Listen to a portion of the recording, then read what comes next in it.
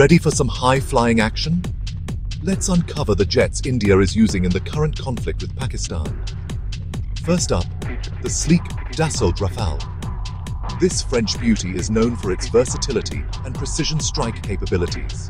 Next, the formidable Sukhoi Su-30 MKI. Built for air superiority, this Russian beast dominates the skies with its advanced avionics and weaponry.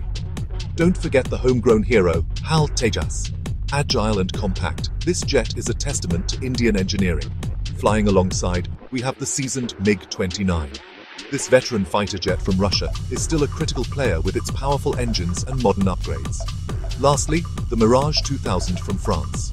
Known for its reliability and precision, it's a key asset in India's arsenal.